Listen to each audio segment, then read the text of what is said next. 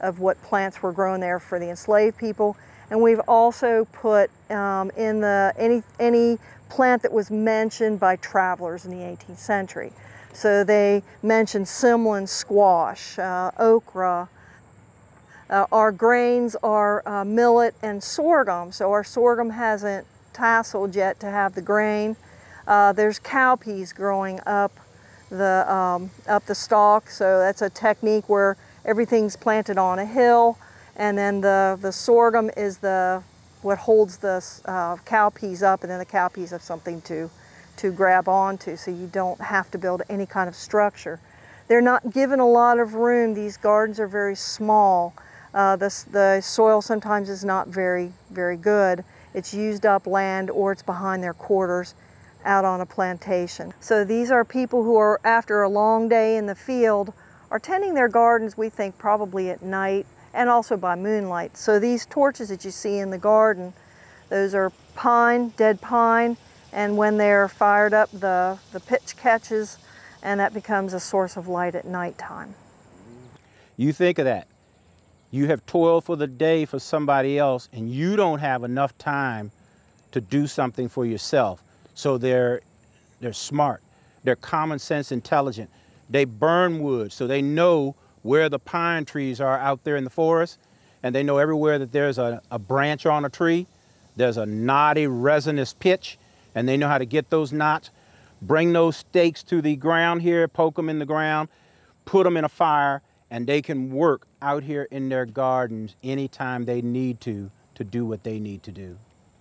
One of the important things in a garden such as this is enslaved people installed objects into their garden which had symbolic meaning and religious belief to them. The thing about the power items, objects, is to let people know that no matter how we look at history, how we look at culture, how we look at people, people come here with their culture intact. They come here, as we can say, often empty handed, but people don't come here empty headed. So they bring their beliefs, what help them to become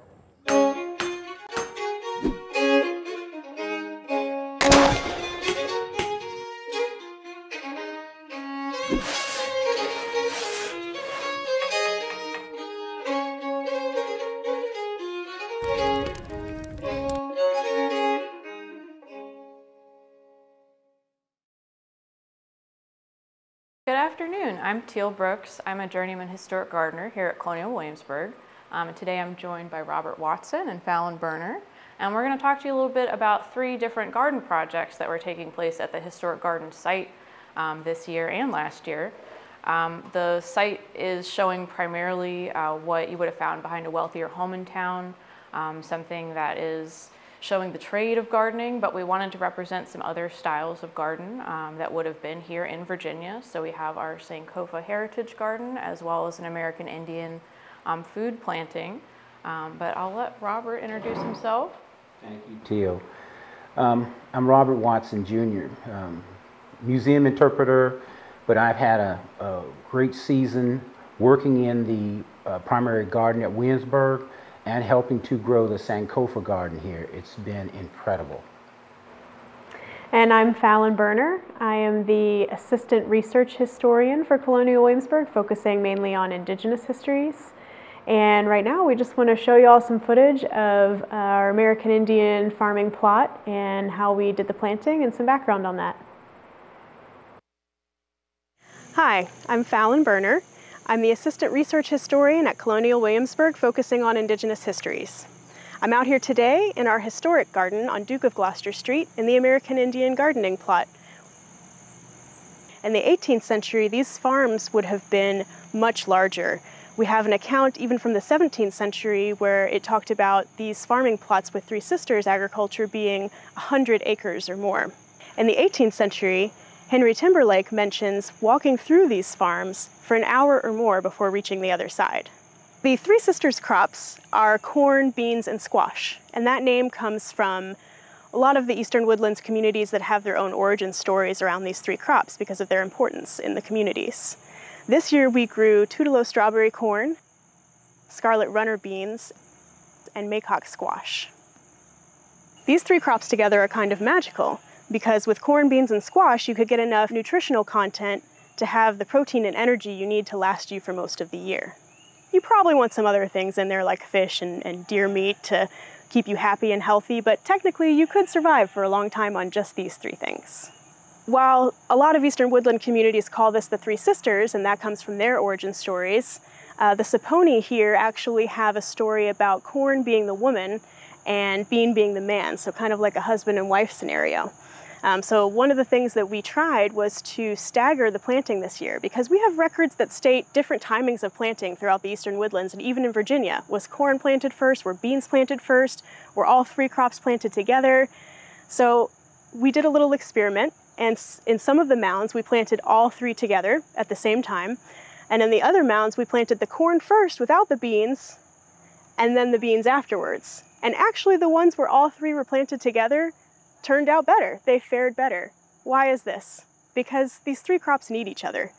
They support each other in ways that ensure that they're successful throughout the season, that they're the most vital, um, the most nutritious. The corn shoots up first, the bean's gonna climb that corn and support that corn as the wind is blowing it around. And then squash comes in to cover the ground, locking the moisture in and helping to keep down weeds.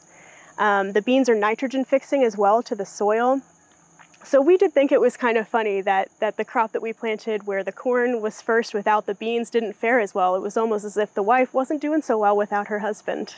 We have other indigenous crops in this plot as well. This year we're growing sunflowers, which are used for pest control, but also they're edible, right? We're gonna eat those seeds. Uh, we have prickly pear cactus and we also have muscadine grapes. Next year, we plan on growing this garden again, probably also with corn, beans, and squash, but we may experiment with different varieties of corn, bean, and squash and try out some new indigenous Virginia plants. So stay tuned, stick around, check us out next year, see what we've got going on, and come back and see us. So how do we know what we know? In other words, what kind of evidence have we found that lets us know what these people were planting and, and how they were planting it and who was planting it?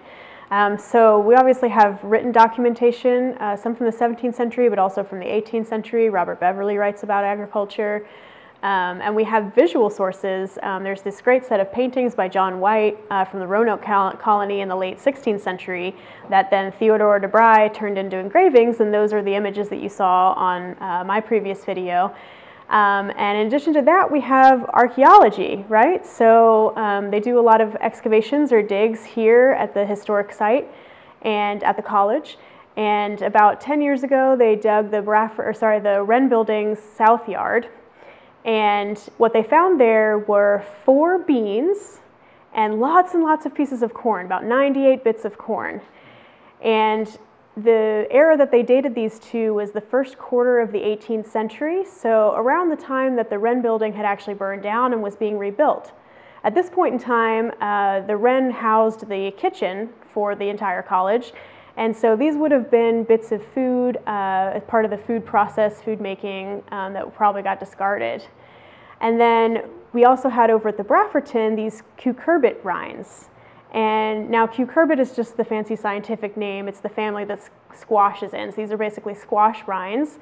Um, and what I like is that these came from the 19th century. So here we have an 18th century and then a 19th century example of um, these American Indian crops still being eaten, and of course we still eat them today. And then at Weatherburn's Tavern, uh, we found some squash seeds that actually look surprisingly just like a squash seed you would find today, uh, just a little bit fossilized maybe, but those look the most recognizable out of all those bits. And for you know the English Gentleman's Garden, we actually have quite a bit of written information um, surviving. We have journals, we have inventories, seed lists, um, and another source is published garden books, kind of aimed at hobby gardeners at the time.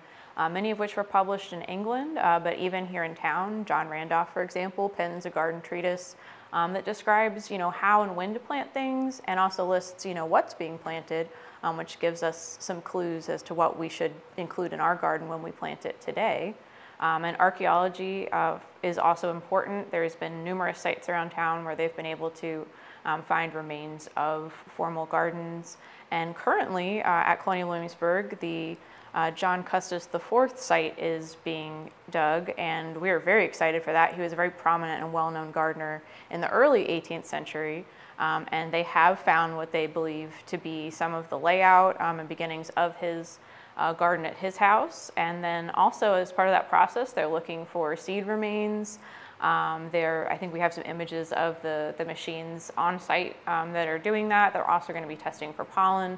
So hopefully we get a really interesting picture of some of the plants um, that he was growing, which will add to um, some of the uh, letters that we have that survive between him and a botanist in England, where they're kind of writing back and forth about their gardens. Mm -hmm. And much of the information when it comes to free and enslaved people, uh, think of accounts like uh, Washington's accounts between his managers and his enslaved on what they're raising, what they're growing. Jefferson, Thomas Jefferson's uh, farm book. And what I always say to people is if it's in the master's gardens, it's also going to be in free and enslaved people's gardens too. Sankofa. We're growing a Sankofa garden. Sankofa is a, a word that means looking forward, but always kind of knowing where you've come from. It's uh, from Ghana. And what we're trying to do is make people aware that these people may have come here empty handed, but they were not empty headed they always could go back and grab that knowledge to survive. Let's see the video. Welcome to the Sankofa Heritage Garden.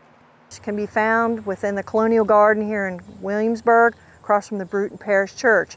So the plants that we have decided to put in the Sankofa Heritage Garden this year are plants that we know come from the Rich Neck Plantation site, which is about two and a half, three miles from here. Archaeologists unearthed some of the subfloor pits and found seeds and evidence, pollen, of what plants were grown there for the enslaved people. And we've also put um, in the any, any plant that was mentioned by travelers in the 18th century. So they mentioned Simlin squash, uh, okra, uh, our grains are uh, millet and sorghum, so our sorghum hasn't tasseled yet to have the grain. Uh, there's cowpeas growing up the, um, up the stalk, so that's a technique where everything's planted on a hill, and then the, the sorghum is the what holds the uh, cowpeas up, and then the cowpeas have something to, to grab onto, so you don't have to build any kind of structure. They're not given a lot of room. These gardens are very small. Uh, the, the soil sometimes is not very, very good. It's used up land or it's behind their quarters out on a plantation. So these are people who are, after a long day in the field, are tending their gardens, we think, probably at night and also by moonlight. So these torches that you see in the garden, those are pine, dead pine, and when they're fired up, the, the pitch catches, and that becomes a source of light at nighttime. You think of that you have toiled for the day for somebody else and you don't have enough time to do something for yourself. So they're, they're smart, they're common sense intelligent. They burn wood so they know where the pine trees are out there in the forest and they know everywhere that there's a, a branch on a tree, there's a knotty resinous pitch and they know how to get those knots, bring those stakes to the ground here, poke them in the ground, put them in a fire and they can work out here in their gardens anytime they need to to do what they need to do. One of the important things in a garden such as this is enslaved people installed objects into their garden which had symbolic meaning and religious belief to them. The thing about the power items, objects, is to let people know that no matter how we look at history, how we look at culture, how we look at people, people come here with their culture intact. They come here, as we can say, often empty handed, but people don't come here empty headed. So they bring their beliefs, what helped them to become their own selves, what kept them strong, what, what they could always hold on to no matter what was happening in their world, these things would guide them and keep them people all their lives. That's rich. Bones are thought to be speaking of the ancestors, and they are asking their ancestors to please protect the food and protect the gardeners uh, so that they may harvest the food and live a healthier and better life. Uh, the other things in there are elements of nature, so we have a feather for air, shell for water, and a piece of iron that speaks of fire, so elements of nature which are important to their culture. Uh, the gourd hanging upside down like that, that is a, uh, a house of a good spirit. If something evil comes along, it grabs that evil, pushes it down into the gourd so it does not do harm to the food nor the people in the garden. To stand in a garden like this and to know that we are growing food that sustain these people, even if it was the worst little plot of dirt, a piece of ground like this that they could put everything in to feed themselves, to have gatherings with their family after a long day of laboring for somebody else. These little plots of ground, it meant the world to them. And that's why these gardens are important in what we're teaching at Williamsburg. Hey, I hope you all enjoy that video. Now, when I do this kind of work, we all do this kind of work, we always get asked, who's doing this work? So a lot of times these are gentlemen and gentle ladies gardens, but we know it was a lot of times the enslaved who was doing it. And in all my years, I had always heard of James, the gardener who worked out at Carter's Grove, by, is owned by Carter Burwell. But then we started looking, and there were other enslaved gardeners. Ellick, uh, a gardener, and Joseph uh, was a gardener to Joseph Prentis. Uh, Lancaster, enslaved gardener at the governor's palace, owned by Governor Fauquier, and later owned by gardener tavern keeper Christopher Ayscough. Bacchus, Will, Jack, Tom, all enslaved gardeners at the palace working under gardener, English gardener James Simpson, owned by Governor Botetourt. Jack, enslaved gardener, owned by William Atkinson. See, these are people who are doing the same stuff that I'm doing today, enjoying it, you know, in my life. I wonder what it was like for them. And in terms of American Indian uh, farming plots here in Tsenacomoco or Virginia, indigenous societies uh, are largely, um, you know, the agriculture is run by women, just like the women also kind of own the houses. Um, so there would have maybe in some archaeological digs we see like a farming plot that's right beside the woman's house that she would have managed. But we also know from records that the Werowance or the chief would have had his own large uh, village plot that everybody worked on together. And so it's just a sort of policy of, of take what you need when you need it. Um, but a lot of the farming work was being done by women. And the men would help out maybe at the beginning of the planting season to clear the field initially. Um, but the rest of the year, other than the women doing the work, the uh, children who were staying with the women might have done some of the smaller tasks on the side. And we have this cool source from the Roanoke colony that talks about children sort of acting as scarecrows in the field uh, to keep away pests. And then, of course, any of the elderly men uh, who were beyond uh, the age or who had retired from hunting or fighting would have helped out with some of those tasks as well. And for the, you know, the English colonists' garden, I think a lot of people are surprised to hear that, you know, the, from the trade perspective, it's actually almost entirely men um, who are formally part of the gardening trade, um, which is not to say that women aren't working in those gardens as well, both, you know, enslaved women um, and sometimes women paid hourly. Um, and also it's worth keeping in mind, you know, though it has some of the same plants and planting techniques, um, the garden that we're showing is a very small segment of the population, and most Virginians are living very rurally at the time. They're on farms and plantations, and they're also going to have to grow for subsistence, um, and that's going to look really different um, from what we're, we're showing here in town. Um, but we've got a video prepared to kind of talk a little bit about the historic garden trade, and then after the video, we will be happy to take questions from the audience as well. Hi, my name is Mark, and I'm here with Teal, and we're gardeners here in the Historical Garden in Colonial Williamsburg. Gardening in the 18th century was a hobby for people of means. It was an opportunity for gentlemen to show off their wealth, their taste, and their education, all in plant form. Even having a large garden in town shows that you have a lot of money. You don't need to build a rental property or a shop. Instead, you can give over your property to plants. And it's a mixed planting. You have practical vegetables that you want to have on your table when they're in season turnips, beets, carrots, beans, peas, right next to decorative plants, calendula, uh, brown eyed Susan, um, passion flower. The important thing was this was your private space, a backyard, and you wanted it to be as impressive as possible when you invited guests in, full of life, full of greenery, absolutely beautiful. But botany and gardening also go hand in hand in the 18th century. It wouldn't be unusual to have exotic plants, scientific specimens mixed in the garden as well. Yeah, when the English are first coming to Virginia, they bring uh, both the vegetables and flowers that they're used to growing back in England.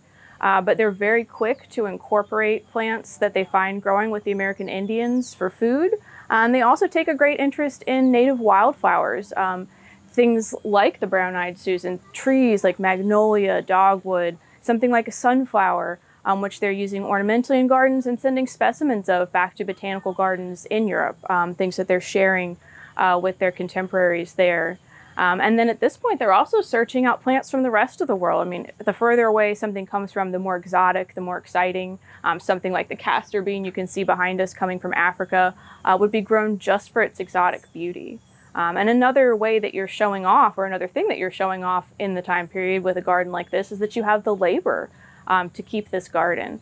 Some gardeners do consider this a hobby. They might dabble in gardening, uh, but the other source for that would be professional gardeners. Um, the gardening as a trade in England is very developed at the time. Some gardeners that are working here at the Governor's Palace, for example, have actually been trained in England and Scotland before coming here. Uh, and in Virginia and the rest of the colonies, another source of that labor is going to be the enslaved, some of whom become very skilled gardeners and are actually hired out around town. Um, today, uh, we're part of the Department of Historic Trade, so we're actually still using historic tools and techniques to maintain these gardens. Um, and in the varieties we choose, we're using heirlooms, um, as old a varieties we, as we can get. And actually this season we're pretty excited. We've been doing some seed saving projects to try to keep some of those varieties. Um, in particular this year we've been trying to save seeds from a pole bean and a lima bean. Um, we're trying to save some seeds from carrots. That's a project yeah. we've got um, coming up this winter. Um, but we're gardening year round out here, so next time you're in town, please stop by and see us. So now that you've heard a little bit about all three of the garden projects, um, we figured we would take some questions. Thanks, Teal. This is Brody Adams. I am uh, one of the producers here for Trades Tuesday, and I will be giving voice to the audience questions this afternoon. Uh, one of our first questions we have, um, Fallon, you mentioned a little bit in your video about how the gardening that we see in the American Indian plot here in Colonial Williamsburg uh, would be more likely to be seen on a farm in the 18th century. So what is the difference really between farming and gardening? Yeah, so um, the important thing to remember here is that in modern times we have space constraints and things just happen organically uh, where we can. Um, so the garden actually offered to host um, an American Indian uh, plot, but really the scale at which um, the corn, beans, and squash agriculture would have been grown for indigenous societies, we would call that farming or agriculture. Um, it's a food crop, it's grown on a very large scale. Uh, like I said in the video, you have a, a European account. Uh, Henry Timberlake says you can just walk through the, the fields for a really long time. So to me, that's really the biggest difference. I don't know if teal has another definition difference she'd want to parse out. I mean, and, you know, for our Colonial Williamsburg, we actually have a whole separate trade, um, which is farming. Um, so handling things that are grown, you know, for, for sale in the international market at the time. Um, and on those farms, you will see people keeping, you know, provision gardens, maybe even a couple acres um, to feed themselves. Uh, but what we show in town, I mean, yeah, the scale of it is completely different. And the gardens, you know, you may get some food out of, but they're really not for um, subsistence. And the American Indian plot really would have been things grown for trade as well, like you're saying, it, they're trading it mostly to Europeans in exchange for other goods. Yes, yes, y'all got it. All right, we have a question from Karen on Facebook. Uh, she really likes learning about weed control. Do you have any uh, information about how that was done? Squash. Yeah, that yeah, I mean, you know, a lot of of course, you know, there are no herbicides at the time, so a lot of the gardening that, you know, all of these cultures are engaged in we would today consider organic gardening. Um, but that, you know, means a huge increase in labor. Um, so for, you know, the site that we manage, I mean, it's all hand weeding. I mean, there's very few instances of, you know, mulch applied, you know, to keep weeds down. Um, it's, it's people doing that work. Um, but the, the squash is a great example um, of kind of a different approach. Yeah, because the squash has gigantic leaves and it stays low to the ground. So not only does it help keep the moisture in, but it helps keep weeds away from having the space to grow and do their own thing too. And both the Sankofa garden and the American Indian garden have, are prominently featuring squash for that reason. That's right. Just like you all saw in the videos, whether these folks had the time to do it during the day or had to work in their gardens at night, they still had to get out there and pick those bugs and worms off of their food. So, Robert, that brings us into uh, another great question. How did they deal with pest control back then? Hmm. I think today, as people, we're a little bit too uh, lenient with all the little uh, animal life that's around. We, we grow food for them to eat. In the times that you know we represent, anything that ate your food, you ate them. I don't care if it was a squirrel or rabbit or whatever. Uh, you made a meal out of them. So uh, I think we need to go back to some of that. And in indigenous farms, they would have hung uh, a gourd, an empty gourd, above the um, crops to hopefully welcome in the nests of purple martins. And what's neat about the purple martins is not only are they probably going to eat some of your pests, but they're very territorial and they're going to defend their, their area. And so they're going to probably keep out squirrels and other smaller pests uh, just from being defensive of their own nest area. Yeah, and I think 18th century uh, professional gardeners also would have been a lot less tolerant of rabbits and other little critters, which today is kind of, you know, a complication for us, and we, we do deal with those. And for insect pests, I mean, again, it's a lot of labor. Um, you know, we just kind of learn when a pest is a problem and make it part of our morning routine to, you know, flip over the leaves of that plant, look for the eggs, look for the bugs, and, and remove them manually. There's a few recipes that float around for um, pesticide, things made from um, like a tobacco leaf tea, but that doesn't seem to be in common practice. It really is, is going to be mostly just hand control. All right, great, thank you. So we have a lot of questions. People are really uh, excited about the different plants that we see in some of the different gardens. Um, but Marty in particular was surprised that there was cactus in the gardens. Can you all tell us a little bit about the cactus that we see there? It, uh, it elicits a lot of questions on a daily basis um, in the garden, but uh, cactus, prickly pear cactus, is native across much of the United States.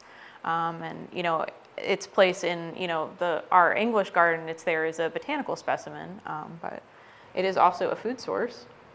Yeah, I mean, Teal said it, it's, it's an indigenous plant here, and so it would have been something you would have seen before the English arrived.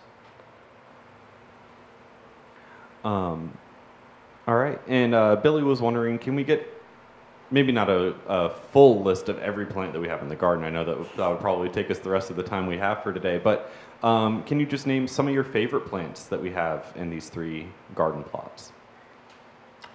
For me, the Sankofa garden, the patty pan squash, the peanuts. Um, I haven't tried the millet yet. Um, I think those are those are mine.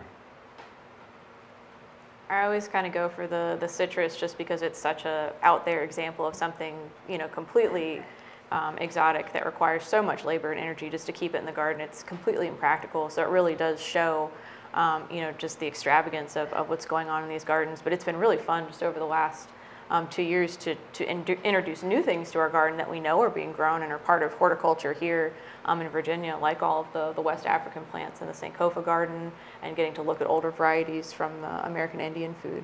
Mm. Mm. Yeah, out of everything that we had in the garden, or we have in the garden currently, uh, the most recent thing I've eaten is the muscadine grapes, actually, which are another mm. indigenous Virginia plant. We don't really talk about it uh, in the American Indian plot video, but you see a brief clip of it uh, with Chris's hand gesturing to it. So those are pretty good. You'll see, you'll see them growing around. Um, they can be tart, um, but some of them can be sweeter as well, just depending. Yeah, and I've got one more that I don't want to leave out. Um, I love okra.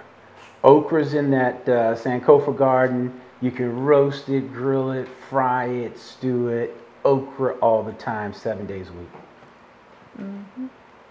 Well, since we're talking about favorites, um, Aaron would like to know what is uh, what's your favorite part about gardening?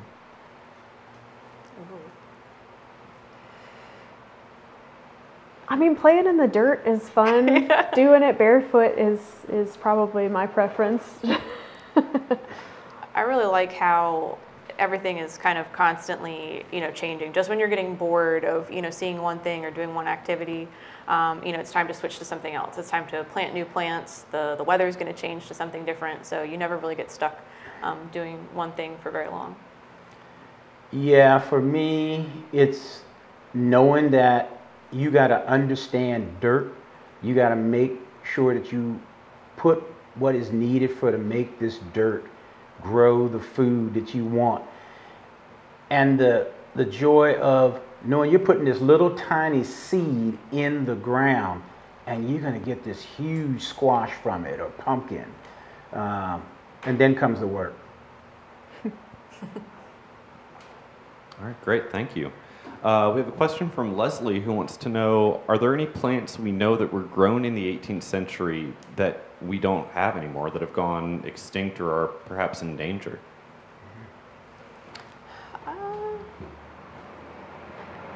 There's definitely things that we grow less of, um, you know, and certainly varieties we have lost. Um, you know, the just sheer number of varieties, even of ornamental flowers or something listed in the 18th century, um, you can't find that many in seed catalogs today.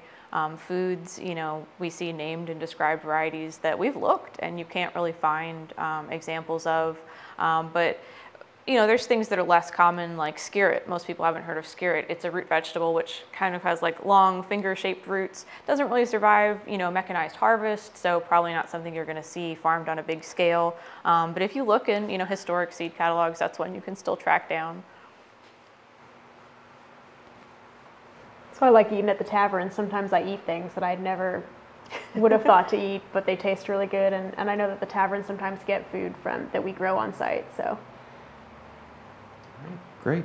Uh, sort of leading into another question there, where do we get our seeds from that we grow here in Colonial Williamsburg?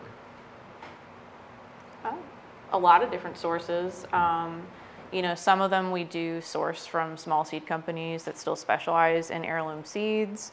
Um, for example, that we were happy to get a lot of seeds from um, a company called Truelove in Philadelphia that specialized in some West African seeds. So when we were putting together um, the Sankofa project, um, a lot of them have been gifts um, that people have given us. Uh, Michael Twitty, the food historian, actually um, was able to give us a number of seeds that helped start the Sankofa Garden project.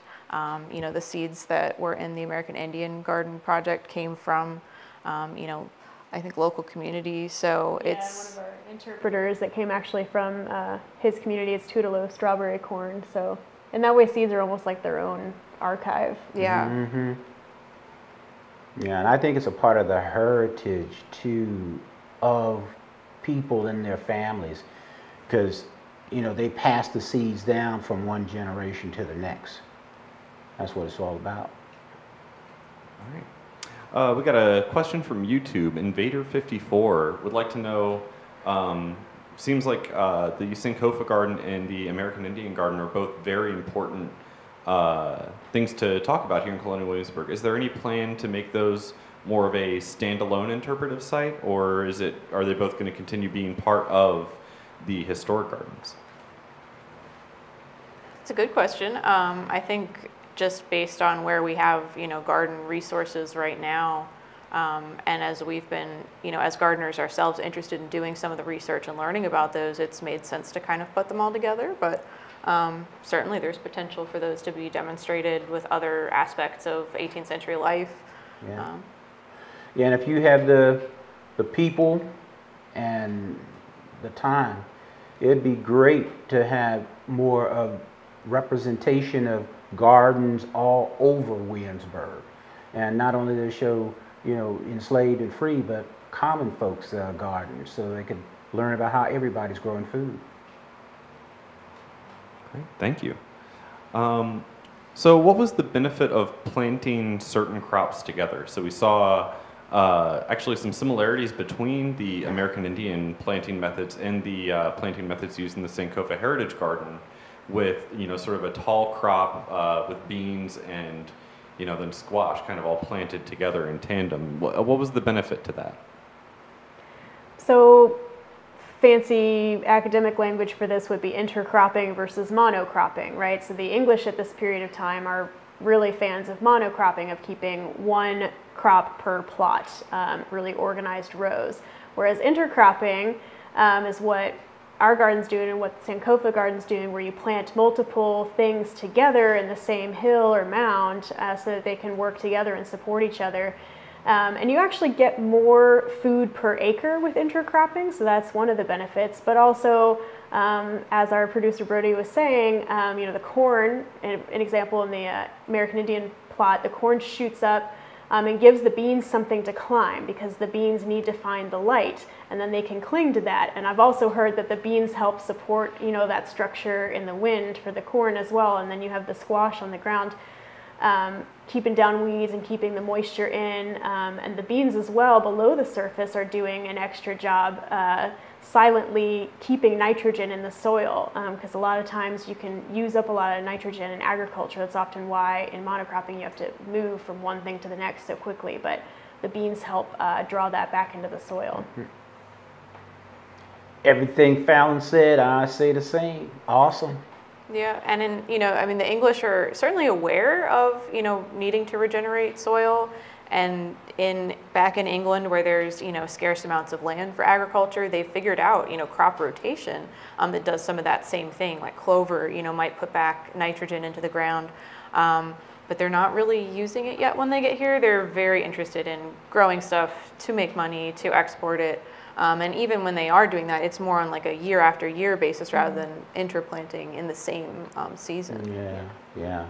And I also got to say, you know, it, it goes back to the, the common sense and the ingenuity of people who've been doing this for hundreds of years. They, their parents did it, their grandparents did it. They know this kind of work like the back of their hand. All right, great. Um, we have a question from Alexandra who wants to know, you know, it's the end of September now, sort of harvest season. So, what is being harvested right now from the different gardens? Well, we recently pulled out the corn, the beans, the squash. yeah, I think from, from the American Indian plot, I mean, it's pretty much right now all harvested mm-hmm. um, and going to be stashed away. Um, Sankofa is still producing. We got some okra, uh, the millet yet to be uh, harvested um, peppers. Um, always got some um, basil. So there's still a few things going strong. Sweet potatoes. Sweet potatoes. The, peanuts. The English pot, yeah. Peanuts yet to be harvested. But that's green. Greens have gone in the ground, right. so we'll be we'll be able to harvest things like collards and kale. Um, you know, as the season cools down, those will be ready to go. That's right. Your cold weather plants. So were there different preferences for ripeness? You know, different uh, times for harvesting. You might harvest some things earlier, some things later. Yeah, I can speak to this. Corn uh, is a big, a big one. That's it gets staggered planting. So they'll do an earlier planting of corn, and they might harvest that in May. Uh, some may, might call that green corn. It's juicier. You're going to make different kinds of recipes with it. Uh, you're going to want to eat it right away. Um, and then there's going to be later harvesting throughout the summer of corn that you planted later. So there's all this staggering, um, kind of hedging your bets, right? It's smart. But then also the stuff that you're harvesting later in the season, what you don't eat immediately in that you know harvest feast, you're storing for the winter. You're probably drying and turning into corn, uh, into flour and things like that uh, for use all the way through until next spring when things start growing again. Yeah, I mean, and in the you know the colonial kind of more gentry garden, um, it really is going to be a luxury to have perishable stuff um, all all season. So I mean, mm-hmm. they're not as focused on growing things to store down to survive the winter. We're putting a lot of money and energy into things like individual glass covers, you know, so that you might have a, a salad of fresh lettuce in the middle of February, um, which is not something that most people um, will experience in Virginia in the wintertime. Mm-hmm. So, Teal, you were just talking about these different uh, globes and things that might be put over crops to, to make it a little easier to grow them in the cooler months. Um, was greenhousing something that was done in the 18th century? Yes, um, definitely only in the scale of you know people keeping these kind of pleasure and hobby gardens. Um, it's going to be very expensive. They they aren't even at this point buildings completely made of glass. Um, it's kind of more of like a, a, brick building with large glass windows on the front, sometimes called an orangery, um, which gives you an idea of what sort of plants they're putting in there. It's not your field crops, it's things like citrus, like oranges, like pineapple, cactus. So it would really be to show off um, an exotic collection of plants rather than actually um, you know, make plants that you would later put out into the field for agricultural purposes like we do with greenhouses now.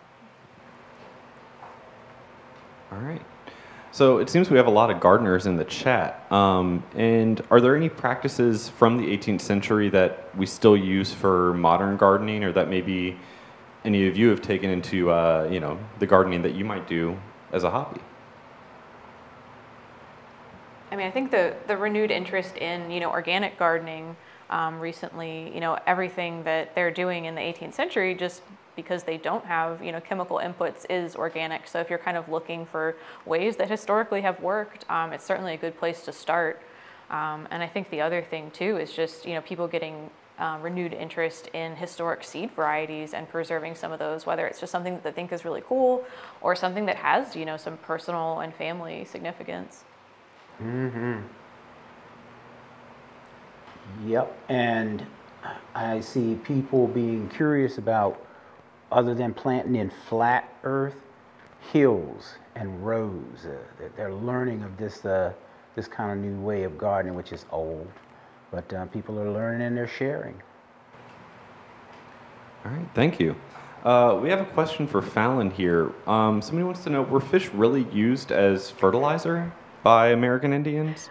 Okay, so Teal and I have talked a lot about this. Um, this is a common a myth that gets dispelled. Um, so this really comes from one primary source, and that is Tisquantum or Squanto uh, in the Massachusetts Bay Colony, in the or also in the early 17th century.